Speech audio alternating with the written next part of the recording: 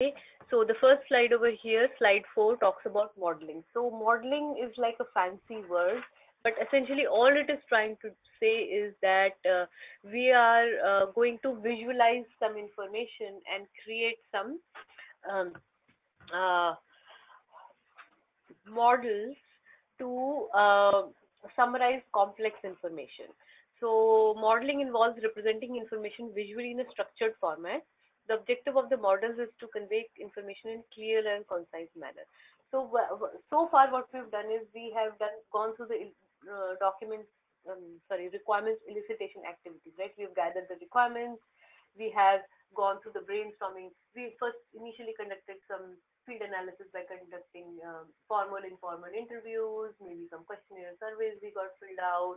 We, we gave our subject matter experts chance to do some individual thinking uh, about the solutions or the proposals that they had in mind. Then we got into a group think session. We did some brainstorming where we did divergence exercises. Then we did our requirements workshop or JAD sessions where we did the convergence exercises to come up with some final proposed solutions. Now, that much we have done so far. Our end objective is to get our business requirement document signed off. BRD sign off is what we are focusing on. Um, and modeling comes somewhere in the middle where we have gathered uh, some amount of uh, information, but because we are the business analyst, we are sort of sitting in the middle to do translation. When we work with our business users, um, some information is quite complex to explain. Like in a meeting, things become, uh, there, there is a saying, right? A picture uh, says a thousand words in meetings if you're just people are just talking and talking and um, uh, debating about certain topics. It becomes hard to sometimes conceptualize. And if we make a small little drawing a model um, there are many types of models many categories of models many different diagramming techniques. Um, so let's say we draw a swimlane diagram. Then uh, it is easier for our users to uh, um, follow the flow of information, some type of workflow.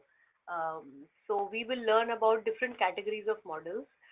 Uh, so this slide is a little busy and it has a lot of words thrown into it, partially because you need some of this terminology for your interview or for the ECB exam. This is all BABOK aligned terminology. So little bit theory is there, uh, but bear with me for a moment. It will become clearer as we go along. So think of um, uh, computer ar architecture as being three-tier architecture. Three layers are there. One is uh, data visualization layer, which we call graphical user interface (GUI) layer. Middle tier is like central processing unit, some type of business calculations or formulas or some business logic is going on. And the third layer is the database layer, where we call the persistence layer, where the information is saved to the database. So you are saving, you are retrieving, you're doing some calculations and showing some information to the user. So back and forth we go up and down, up and down, and it's called three-tier architecture. Uh, so that is three layers of a cake, you can think like that. Um, but there are also, uh, if you talk to the technology team, they sometimes also try to um, count the three layers vertically, meaning there is inbound information, there is central processing going on, there is outbound information. So we have inputs, we have some central processing going on, and then we have outputs. So these are also called upstream processes, calculations, and downstream processes. Either way, it's like a nine-point grid. You can think of it like that. Sometimes we will be talking in terms of the vertical layer, sometimes in terms of horizontal.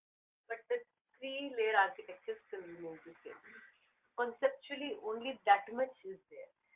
How? So that's the English way to understand now, the same nine components can have lots of fancy names. So only those names we will memorize, but the concept remains the same. So in terms of modeling, the layers go like this. Scope model, process model, data model.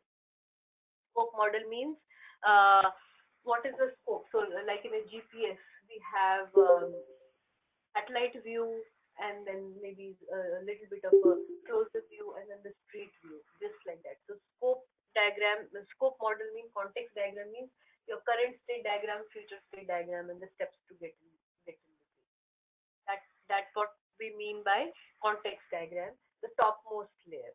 Process model is something about the internal workflow of the information. That is the central processing unit. What is the business logic of your application? And those diagrams, uh, uh, those process models, uh, examples of process model are flowchart and diagrams. And the third one is data model, which is related to the database. So data flow diagram we will also uh, cover in our uh, material. So uh, again, three types of layers. Scope models are referring to the topmost high-level view. Process models are related to the internal processing or the workflow, and data flow models are how we are saving data to the database and fetching from the database. So this is how the information is organized, and then we will see examples of each of these techniques. So depending, not all of the techniques will be used for every project. Different projects will have different level of detail. But as long as you high level, these are not like super complex. It's nothing to get intimidated. So once we know the basics of it, and little bit memorization is needed. So somebody was asking for the interview or for the job, what should I prepare? Is this so much material or content? Where should we focus on? Idea is that if you revise this couple of times, you will kind of remember. Um, if somebody's telling you about context diagrams, instead of context diagrams, they, if they ask you the question, which scope models have you used? you might get a little confused, but ultimately they're only asking you, have you drawn a current state diagram or a future state diagram? Even if you've not drawn it, have you seen it? Because current state, future state sometimes comes from the project, sometimes from the program, sometimes it inherited from the portfolio. So the current state, future state, the big roadmap diagram may already exist for your program, and you're in your project, in your sprint, you're just making some minor changes. So you as a business analyst in your BRD, you're inheriting all these diagrams and you're just specifying in scope what is actually in scope for this little sprint that you're doing.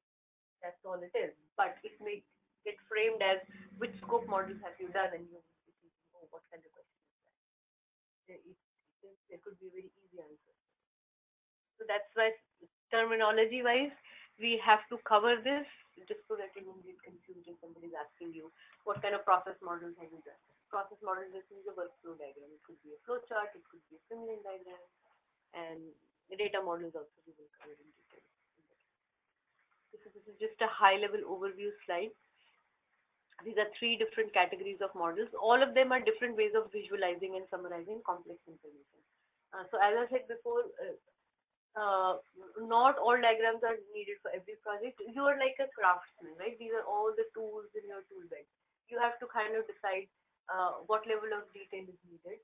Only for the pieces that are very, very complex, only that much you may have to draw a flowchart for. What is easy and self-explanatory, you don't have to do all the work to do it, right? So wherever we have, we find. So it's like a zoom lens. Wherever we need to zoom, only that part we blow up, and others is simple enough for us to follow. So these are all different types of zoom lenses, and people may ask sometimes. Uh, why we need a context diagram and a flowchart for the same project or for the same sprint, for the same exercise. Sometimes to attack the same problem, you may have to have different type of zoom lenses from different angles. So we will draw a swimlane diagram also and we will draw a data flow diagram also. And both diagrams are going to give a slightly different perspective on the information.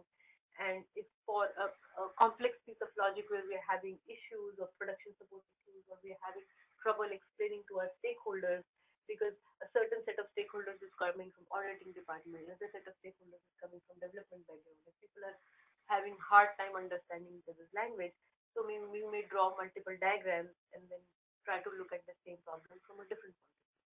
That's why sometimes we have the benefit of using multiple diagrams. It aids in finding missing information. So as a business analyst, you're a little bit of a detective. You're trying to ensure all the pieces of the puzzle fit together. Anywhere where you have cracks, water will flow, flow through, right? So these are all different techniques for you to ensure that um, our jigsaw puzzle is solid and tight and we don't have any breaks or gaps in our logic. So we'll be using different techniques at different